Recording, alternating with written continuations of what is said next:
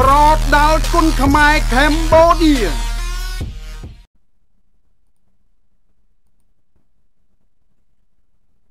វ៉ាវក្តៅក្តៅនៅទីបំផុត បន្ទាប់ពីកីឡាករបាល់ទាត់ជម្រើសជាតិថៃបានធ្វើវើទាំងវើមិនសមគួរនៅពេលមុននេះសមាគមបាល់ទាត់ថៃបានចេញសារក្តៅក្តៅ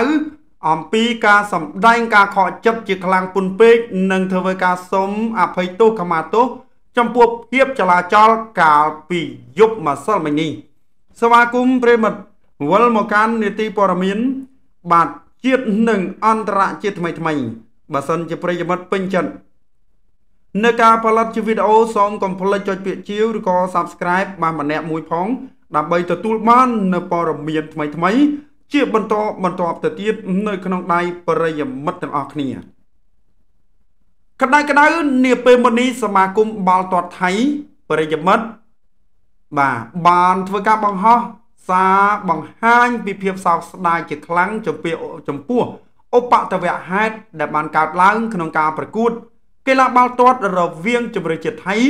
និងក្រុមបាល់ទាត់បរោះជម្រើសជាតិឥណ្ឌូនេស៊ីអាយុក្រោម22ឆ្នាំ នៅព្រឹត្តិការណ៍ SEA Games លើកទី32ដែល បាទប្រទេសកម្ពុជាធ្វើជាម្ចាស់ផ្ទះកាលពីថ្ងៃអង្គារទី16ខែឧសភា ឆ្នាំ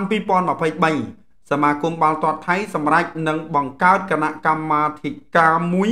ដើម្បីស៊ើបអង្កេតលើករណីដែលបានកើតឡើងបាទខាងលើនេះសមាគមបាល់ទាត់ថៃបានសរសេរថាពួកគេសូមសម្ដែងការខកចិត្តនិងសូមអភ័យទោសចំពោះភាពចលាចលដែលកើតឡើងនៅក្រៅទីលាន អំឡុងការប្រកួតរវាងជម្រើសជាតិថៃ និងជម្រើសជាតិឥណ្ឌូនេស៊ីជាពិសេសក្រុមគ្រូបង្វឹកដែលគួរឲ្យគំរូល្អប៉ុន្តែបែរជាបង្ហាញនៅអកប្បកិរិយាដ៏អាក្រក់បែបនេះសមាគមបាល់ទាត់ថៃនឹងបង្កើតគណៈកម្មាធិការមួយដើម្បីបើកការស៊ើបអង្កេតលើអ្នកពាក់ព័ន្ធទាំងអស់ដើម្បីស្វែងរកការពិតក្រោយពីពួកគេត្រឡប់មកដល់ប្រទេសថៃវិញសមាគមបាល់ទាត់ថៃ ក៏សូមអភ័យទោសទៅកាន់អ្នកគាំទ្រថៃប្រជាជនថៃ និងអ្នកពាក់ព័ន្ធទាំងអស់ក្នុងព្រឹត្តិការណ៍នេះហើយពួកគេនឹងផ្ញើលិខិតសុំទោសជាផ្លូវការទៅកាន់ភាគីពាក់ព័ន្ធផ្សេងផ្សេងទៀតដែលរងផលប៉ះពាល់ក្នុងព្រឹត្តិការណ៍នេះសមាគមបាល់ទាត់ថៃនឹងទទួលយកនៅរាល់ការផ្ដាល់យោបល់ដើម្បីកែលម្អការអនុវត្តនិងការពៀមិនឲ្យបតវៈហេតុបែបនេះកើតឡើងម្ដងទៀតនោះទេ អញ្ចឹងប្រិមត្តណាបាទគេចង់បើកការស៊ើបអង្កេតបាទគេចង់បើកការស៊ើបអង្កេតអញ្ចឹងតើតើទៅនឹងការស៊ើបអង្កេតនេះប្រិមត្តណាបាទមិនបាច់ស៊ើបអង្កេតទេបាទពីព្រោះវីដេអូមានទាំងអស់ហើយប្រិមត្តបានទៅស៊ើបអង្កេតធ្វើអីទៀតបាទខ្ញុំនិយាយត្រង់ត្រង់បាទខ្ញុំចូលចិត្តនិយាយត្រង់បាទបើវីដេអូ live ផ្ទាល់យើងឃើញទាំងអស់មានគ្រប់ជ្រុងគ្រប់ជ្រោយហើយណាប្រិមត្ត បាទគ្រប់ជ្រុងគ្រប់ជ្រោយហើយហើយដល់ពេលឥឡូវបងប្អូនឃើញស្រាប់ហើយបាទឥឡូវនេះចេញបាទសុំទោសណាបាទចេញលិខិតសុំទោសអញ្ចឹងតកតងទៅនឹងព័ត៌មាននេះបងប្អូនបាទឃើញថាកំពុងតែល្បីក៏ក្រើកហើយបាទប្រទេសថៃ បាទកម្ពុជាក៏ដូចជាបណ្ដាញសារព័ត៌មាននៅជុំវិញពិភពលោកហ្នឹងគឺគេកំពុងតែថ្កោលទោសណាបងប្អូនមិនមែនលេងសើចទេណាបាទគេកំពុងតែថ្កោលទោសខ្លាំងណាបាទដោយធ្វើការលើកឡើងចឹងថាកីឡាមិនមែនទៅធ្វើសង្គ្រាមទេបងប្អូនណាសង្គ្រាមលើទីលានចប់ការប្រកួតមិត្តភាពនៅដដែល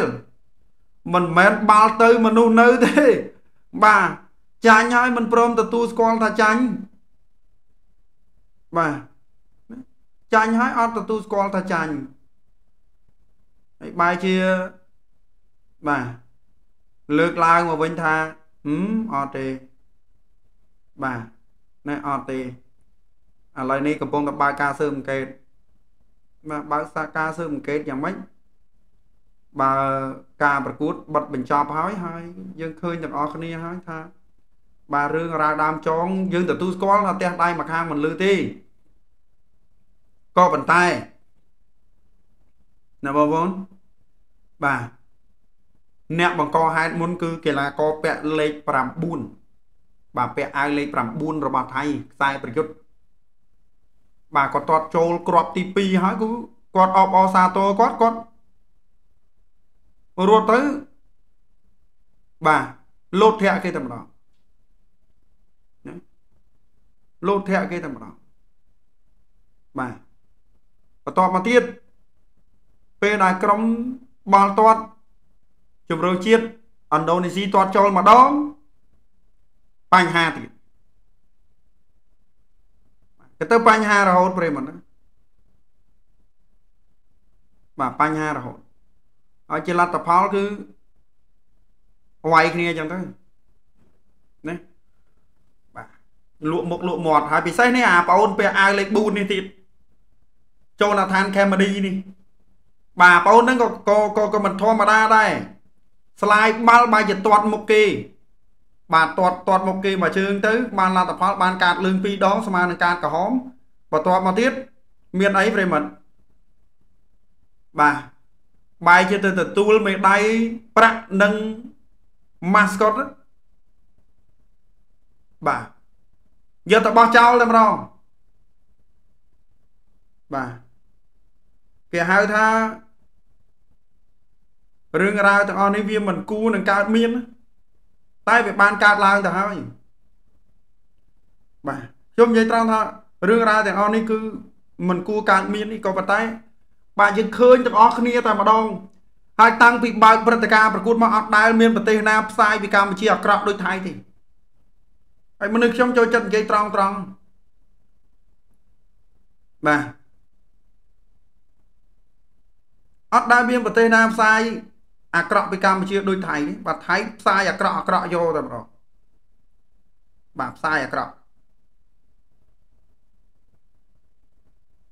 ហើយដោយរឿងរឿងរ៉ាវទាំងអស់ហ្នឹងអញ្ចឹង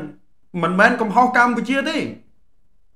តែវាគឺជាកំហុសរបស់ប្រទេសថៃនៅឥណ្ឌូនេស៊ីនៅលើទីលានខ្លួនឯង ណាប្រិមត្តណាបាទឥឡូវនេះបងប្អូនបាទឃើញថាស្ដាយបាទស្ដាយរូបភាពដែលមិនគូកើតមាន តែវាបានកើតមានឥឡូវនេះខាងសហព័ន្ធថៃប្រកាសហើយបើកណាបងប្អូនបាទ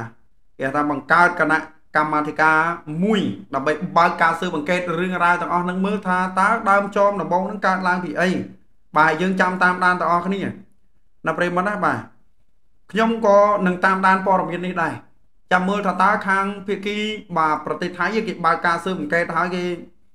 អឺនឹងរកឃើញអ្វីខ្លះបាទបន្ទាប់ពីក្រមបាល់ទាត់ជម្រើសជាតិគេជម្រើសជាតិថៃហ្នឹងត្រឡប់ទៅដល់ដីថៃវិញគឺគេចាប់ផ្ដើមបើកការស៊ើបអង្កេតហើយបាទបើកការស៊ើបអង្កេតអញ្ចឹងតើតើទៅនឹងបាទព័ត៌មាននេះប្រិយមិត្តចូលរួមបាទបញ្ចេញមតិយោបល់បាទម្នាក់មួយផង ហើយបើសិនជាលើកទៅ បាទលើសលួស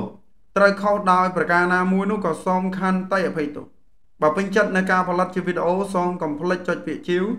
ឬក៏ Subscribe ម្នាក់មួយផងដើម្បីទទួលបាននូវព័ត៌មានថ្មីៗជាបន្តបន្តទៅទៀតនៅក្នុងដៃជាចុងក្រោយបាទសូមជម្រាបលាប្រដល់